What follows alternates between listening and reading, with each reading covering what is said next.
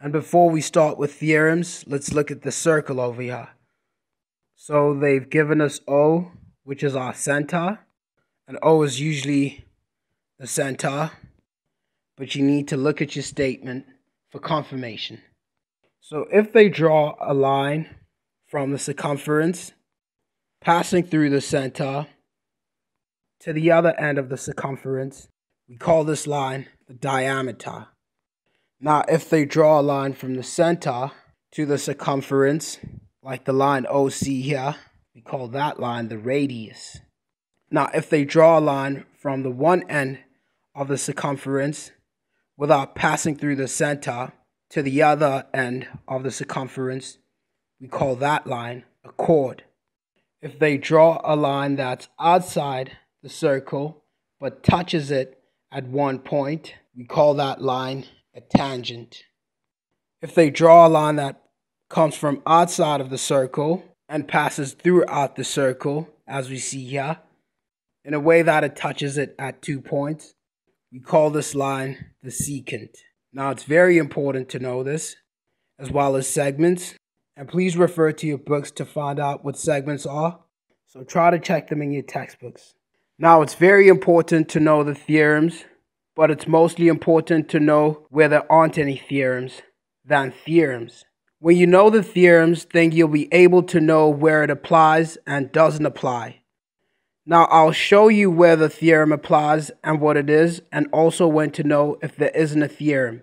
Even if a shape may seem to be related to a specific theorem you know, it could be non existent because of certain reasons. Okay, so there's a theorem here where a line that's drawn from the center to the chord, when it gets to the chord, it becomes perpendicular.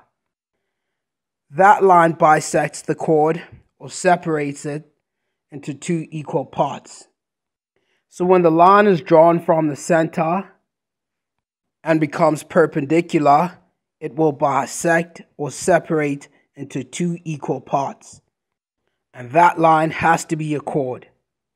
So now our chord AC has been bisected into two equal parts where line AB is equal to line BC.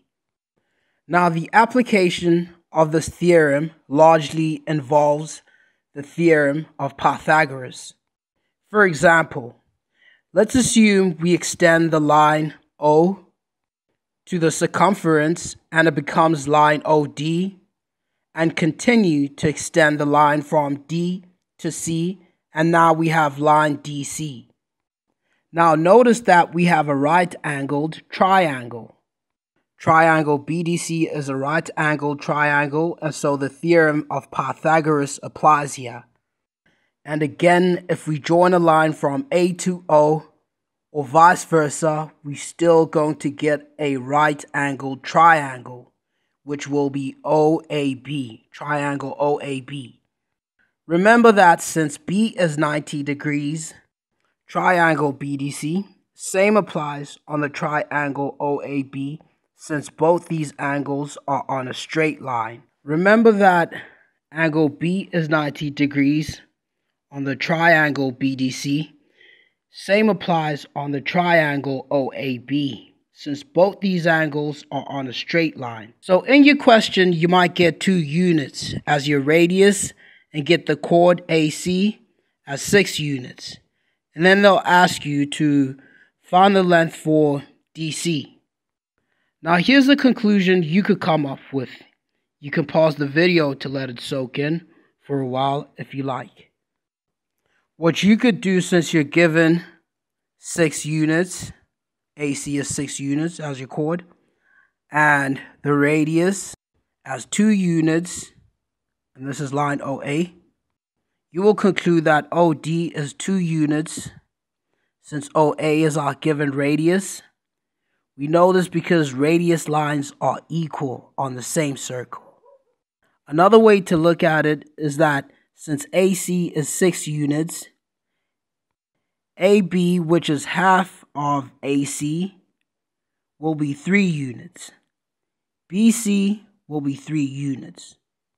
Remember that AC is bisected. Now, in triangle AOB, we're able to solve OB using the theorem of Pythagoras. We have the hypotenuse OA, which is 2 units.